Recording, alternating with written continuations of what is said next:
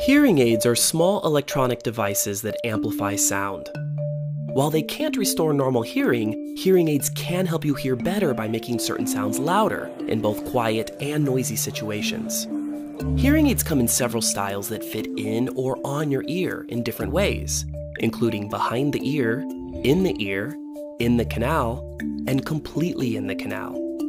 While the style may vary, all hearing aids have the same basic parts a microphone, amplifier, speaker, and battery.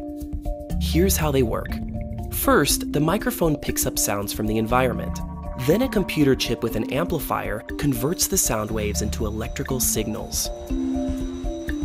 It analyzes and adjusts the sounds based on your hearing loss and the level of other sounds around you. These amplified signals are then converted back into sound waves and delivered to your ear through the speaker. In this way, hearing aids can improve your hearing and speech comprehension if your hearing loss is caused by damage to the sensory cells in your inner ear. The greater the damage to these cells, the more severe your hearing loss will be, and the more amplification you will need from a hearing aid in order to compensate. If you think you might have hearing loss, talk to your doctor.